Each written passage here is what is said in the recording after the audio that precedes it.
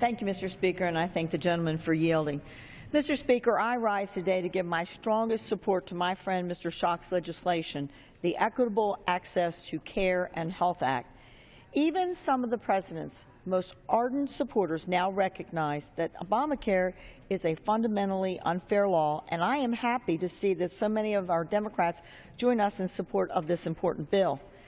Instead of having federal bureaucrats decide who and what groups should be allowed religious conscience exemptions from this law's tax penalty, individuals themselves, individuals themselves should be empowered to affirm their objections to this law's onerous and controversial mandates.